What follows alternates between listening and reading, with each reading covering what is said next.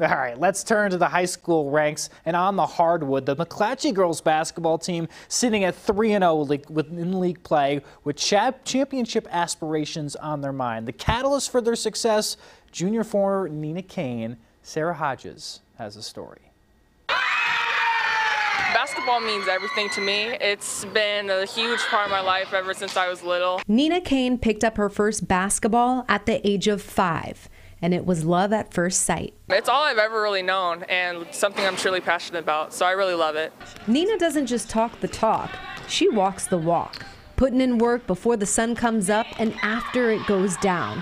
Her coaches all agree that is what sets her apart. Nina Cain just works hard everywhere, practice, training, um, in games, and that's very hard to find when you're just going 100% on defense, on offense, and it just her her grind and her drive just shows everywhere.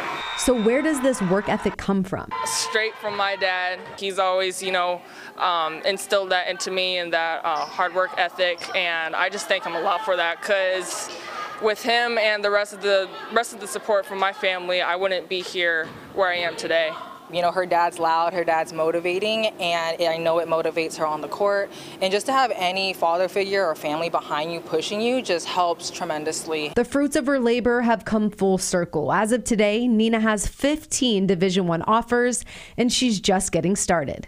Nina can play anywhere, and any coach would love to coach her and have her. Um, any division, any school, um, any conference. And Nina is ready to eat. It's not just going to be handed to you on a plate. You got to go up from the table, get that plate, and put your food on it. Nice. How, how, old is she? She's so focused. I know. I Mic drop it. on that. All wow, right. Wow, no doubt. As the kids call her, she's a baddie with the basketball in her hands. I would not play her one on one. Just saying right now. Yeah. Well, way to go to her family too for yeah, the support and all that. That's awesome to see. Okay, thanks. Love it.